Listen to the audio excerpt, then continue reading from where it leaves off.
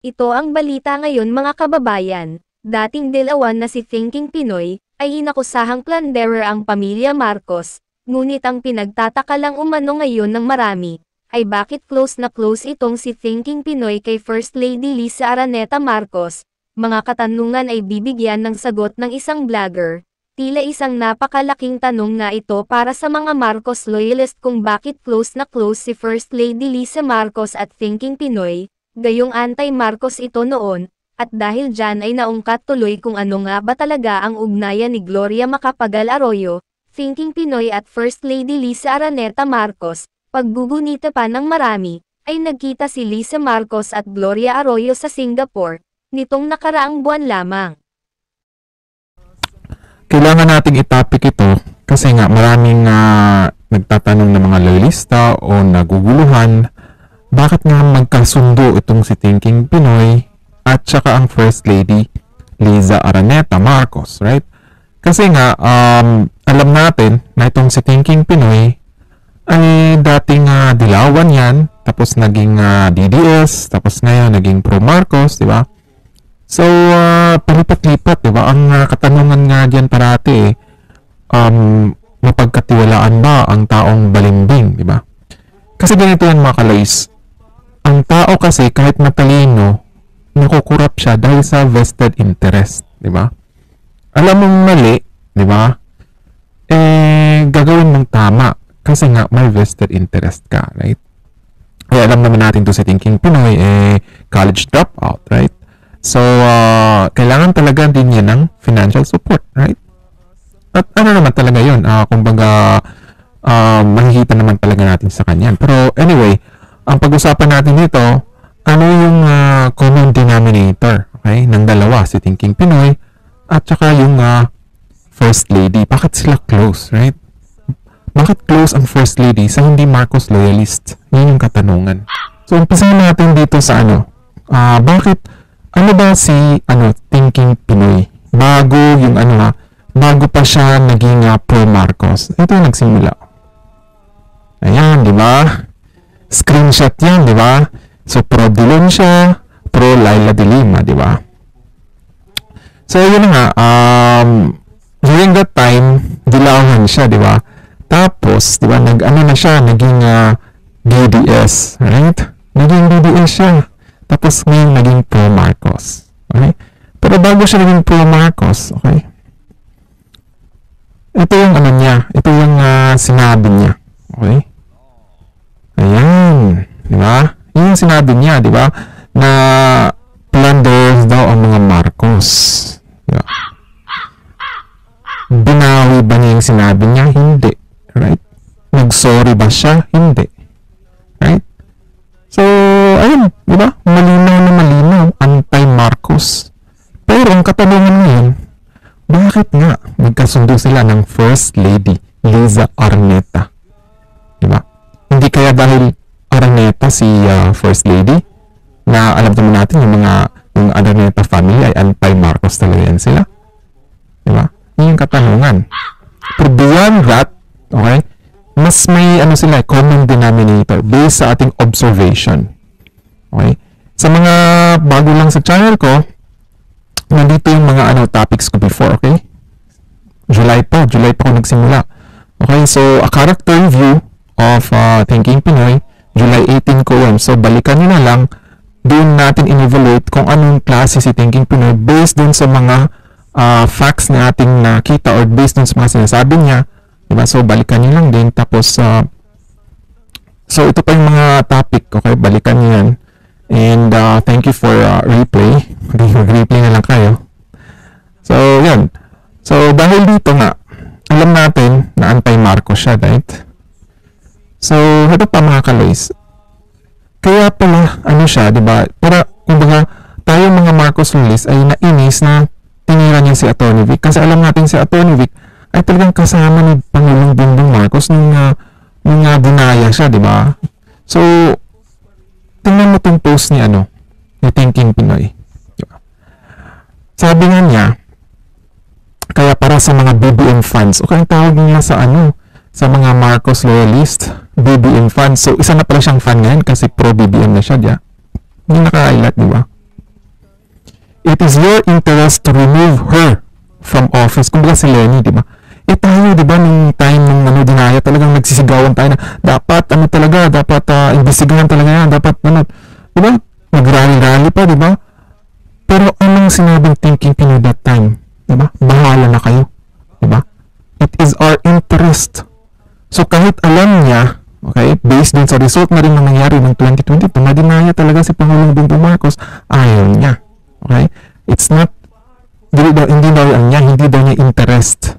Okay? Na malaman ang katotohanan na nandaya si Lenny. Di ba? Anong klaseng pag-iisipan? Di ba? Yan ba ang matalino? Yan ba ang para sa bayan? Right? Di ba? Pero si Atty. Vic talagang todo ang ano niya. Di ba? Suporta kay Pangulong Bongbong Marcos na talagang uh, maihayag o kumbaga malaman ang katotohanan na talagang dinaya si Bongbong Marcos. Pero itong thinking Pinoy, bahala kayo sa buhay niyo. Parang marohas lang, di ba? Ganun ba? Right? Sa mga Marcosers na supporter ni Thinking Pinoy, okay? Para sa inyo to, okay? Marcos Lolis ba talaga kayo? O, okay, or nauto kayo? Diba? So, uh, ito na nga. Sila ka-close? Okay, gaano sila ka-close ni uh, uh, First Lady Liza? Ayan, di ba? Yan yung sinshinier ni ano, Thinking Pinoy. Yung uh, text messages nila ni ano, ni uh, First Lady, ganun sila ka-close, may pa, mwah, mwah pa, di ba? Diba? So, ano yung link? Ang katanungan ngayon, ano yung link? Bakit nagkakilala itong si Liza, okay, First Lady Liza, at saka si Thinking Pinoy? Dito yung nagsimula mga kaloys. Okay, dito yung nagsimula. Saan ba yun? Lang ha? Yan. Di ba? Diyan nagsimula. Sin sinong uh, common denominator? So, kumbaga, uh, saan sila nag-connect? Okay. Ang, uh, ito ah, ulitin ko ulit. Si Gloria Arroyo, yung former president, ang kanyang husband ay relative ni First Liza Araneta. Okay? So, may connect si Liza kay GMA. Okay? Tapos si Thinking Pinoy naman, yung manager niya, si Mel Robles, na ngayon ay uh, PCSO chairman, syempre nabigyan ng posisyon, 30 million ba naman ang binigay, right? Diba? 30 million, ilang ano kaya nababawi mga kaloys? Isang draw lang ba? di ba? Isa ba si Thinking Pinoy sa mananalo? Hmm, di ba? May ano, video ko dyan na paano dayain yung uh, draw, right? Balikan nyo. In-explain ko ano yung way na pwedeng dayain or kontrolin ko ano yung lalabas. Di ba? In-explain ko na yun, di ba? So, kung nag-iisip uh, talaga sa tingin Pinoy, dapat alam niya yun na posibleng pwedeng ganun ang uh, gagawin para mandaya. Pero, kumbaga, manager na yung nasa PSA, right? Okay, so, back dun sa connection natin. Si Thinking Pinoy at saka yung manager niya, si Mel Robles, okay? Ang manager niya ay appointed ni Gloria during her time as president, right? Sa LTRA, right? At nagkaroon ng kaso, right? Uh, itong manager ni Thinking Pinoy dahil sa ghost employees na ano, okay? Case, right? Kumbaga, ito yung binayaran ng gobyerno for this number of employees pero ilan lang pala yung nagtatrabaho. Di ba? So, may ghost employees. Di ba? Kaya nga nagtatanong tayo ngayon, baka yung mga winner ng ano, 433, baka, okay? Ay mga ghost winners, right? So, yun nga, um, dahil kay Gloria, okay, naging ano to, di ba, magkakilala tong lubos, kumbaga yung trust nila ay nandoon dahil uh, pareho silang ano, close kay JMA. Pero mga kaloy, sinabi ko na to sa mga previous vlogs ko na itong sa Thinking Pinoy, kung sino yung suportaan ni Gloria, okay, nakita ko yung pattern eh, kung sino yung susuportahan ni Gloria, doon siya. Right? Kaya nga nung ni Gloria si Pangulong Duterte, eh, DDS na rin siya. Right? Eh, ngayon si Gloria, sinuportahan si Bongbong Marcos, uh, pro-BBM na rin siya. Okay? So, what if supportahan ni Gloria si Cayetano? Maging Cayetano rin siya, right? So, ganun. Okay, ganun siya. Kaya sabi kong sinasabi sa inyo mga kaloy na may mga tao talaga na matalino nga. Okay? Magaling pero nakukurap dahil sa pera. Diba? Yun yun, diba? So, sabihin mo, ako, ah, anong vested interest ko? Diba? Nandito ako sa Canada. May work ako. Nag-aaral ako ng masteral. May connection ba ako sa mga politiko? Wala. Diba? Ang vested interest ko ay, okay, na isulong ni Pangulong Bongbong Marcos ang Marcos brand of leadership, not Araneta or Arroyo brand of leadership or Rojas brand of leadership. Marcos brand of leadership dapat. Pero ang nangyayari ngayon, di ba? Tingnan mo yung listahan ng mga appointees, right? Nagawa ko ng live stream, evaluate natin isa-isa yung mga cabinet secretaries kung minalista ba talaga sila, loyalista, okay, or baguhan. Okay? Kasi nakikita natin, halos majority ay ano, mga nunalista, di ba? Nawala na nga si Atty. Vic, nawala pa si uh, Atty. Trixie, di ba? So, ayan. So, yun yung connection nila. Okay? So, uh, mga kaloys, ang aking ano dito, ang aking, uh, may ano ako dito, may five reasons bakit nagkasundo sila. Okay? So, yung una, ay yung personality nila. Okay? Pareho sila na spoiled brat. Okay, bakit ko nasabi na spoiled brat? Okay, dito mga kaloys. Saan ba yun? Okay, ito. share ko sa inyo to. Okay, paano naging spoiled brat ang uh, first lady? Okay, dito. Okay, ipa-play ko to. Yan, makinig tayo ha. And that's, uh, Lisa will never say that. Because will never give up. She's so matapang. Yan, di ba? Ah, itong video na to, um, sinamarize ko, ay sasummarize ko lang, ah, sinabi ni Pangulong Bongbong Marcos during that time, manood sila ng Miss Saigon Ticket. At itong si Lisa, nagdadrama-drama, kahit na ano, ah, walang reservation, di ba? Nag-iyak-iyak daw, tapos yun na nga, parang uh, na ano niya, niloko niya yung manager, di ba? Yun yung kwento, di ba? Sabi ko, bakit, bakit ganun? Parang ah, hindi, hindi maganda yung ginawa ni Lisa, di ba? So, para sa akin, malaking possibility na bad influencer itong si ah, si Lisa kay Pangulong Bongbong Marcos. Diba? Kasi ganun yung mga bagay, di ba? Lulukuhin mo yung manager, magdadrama-drama ka, nakaka-reserve ka ng ticket. Come on, isang panluloko yun, right? Tapos ito pa, di ba? Sabi ni Pangulong Bongbong Marcos, talagang ah, kung gusto ni ah, Lisa, ga- talagang gagawa ng paraan. Di ba yun yung mga ano, personality ng mga ano, mga karakter ng mga ano, ah, kumbaga, yung mga spoiled brat, di ba? Okay? So, paano naman naging spoiled brat itong si ano? Si, ah, Thinking Pinoy. Okay? Paano naging spoiled brat itong si Thinking Pinoy? Okay, ang nangyari kasi dyan, di ba? Um, may instance kasi nung ano, nung ah, sinabi ni Harlika na yung ah, ano raw, yung ah, nasa ano si Banat ba at si Mocha dun sa radio sta- ano 'di ba? Ah, station, 'di ba? Um, sinabi daw ni Thinking Pinoy na um, aalis siya dun sa radio kung hindi aalisin si Banat ba at saka si Mocha. 'Di ba? Ganon siya. Right? Tapos kung tingnan mo yung nangyari, 'di ba? Um, DDS siya, binuwag ng DDS. Ngayon naman, yung mga pro Marcos, ang mga Lois vloggers, eh, pinag-iitan din naman niya. Diba? Ganun siya. Okay? Kung ano yung gusto niya, gagawin talaga niya.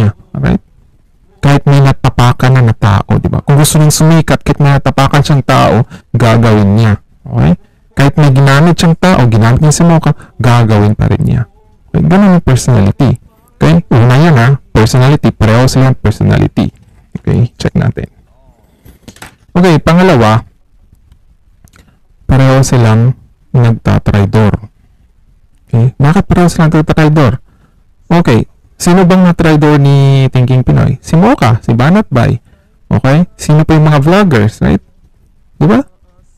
Ginamit niya si Mocha para dumami yung subscriber niya. Eh, thousands lang yung subscribers niya. Million na si Mocha. Tapos in the end, di ba, sinira niya, right? So, uh, ngayon naman, nag-traidor siya sa mga Marcos vloggers, lo- la- lalo na yung mga taga UVIP, eh, ngayon nabuwag na. Right? So, nag-traidor. Eh, saan naman nag-traidor si, ano, si ah, Lisa, di ba? Dun sa, ano, sa mga supporter ni Pangulong Bongbong Marcos. Right? Si Atty. Vic. Okay? Si Atty. Trixie. Yung mga Marcos loyalist. Right? At ngayon, eh, tsapera nga, si Senator Amy Marcos, right? So, pareho sila na ganun. Okay? Pangalawa yun. Pangatlo, close sila pareho kay GMA. Okay? Close sila pareho kay GMA. Eh, mapagkatiwalaan ba si GMA as influencer? Di ba? Mapagkatiwalaan ba si GMA as influencer? Alam mo mga kaloys, dito pa nga sa pictures, malalaman mo kung sino talagang boss ni ano, ni Thinking Pinoy. Di ba? Kasi wala kang nakita, okay? Wala kang nakitang picture ni Thinking Pinoy na niyakap niya si GMA. Diba? O inakbayan, diba? Tingnan mo to. Si Thinking Pinoy, inakbayan si First Lady Liza. Diba? Si Pangulong Bongbong Marcos, niyakap. Si Pangulong Duterte, niyakap. Si Inday Sara, niyakap, diba? Kasi nga, malaki ang respeto ni Thinking Pinoy kay Gloria. Right? Yun yun may respeto siya. Okay? So, dun pa lang, matindi tong ano, kumbaga, matinding ah, influencer itong si Gloria. Kung si Thinking Pinoy ay influencer, may malaking tao pa na mas, kumbaga, may nakaka-influence sa kanya. Ito ay si Gloria. Okay? So, pareho silang close kay GMA, right?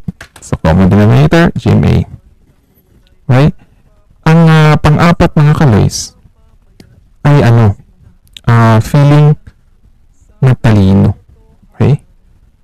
sila talaga yung uh, mag, magmamagaling, di ba?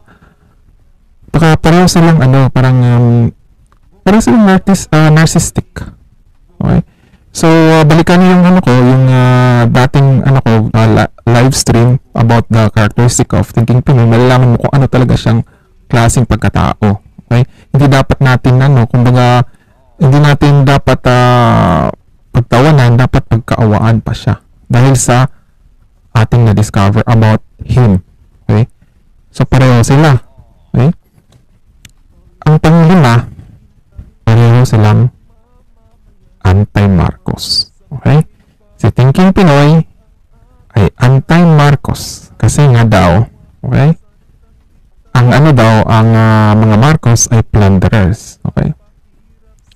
Eh, paano naman naging anti-Marcos ang First Lady? Eh, ano siya, asawa siya ni Pangulong Bongbong Marcos. Alalahanin niyo mga kaloys, isa siyang araneta. Okay?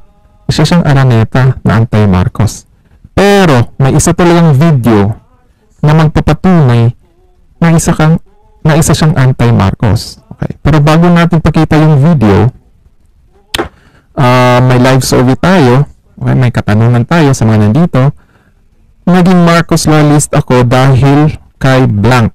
Okay? So, 85% ang nagsabi, naging Marcos loyalist sila dahil kay Ferdinand Marcos at Imelda.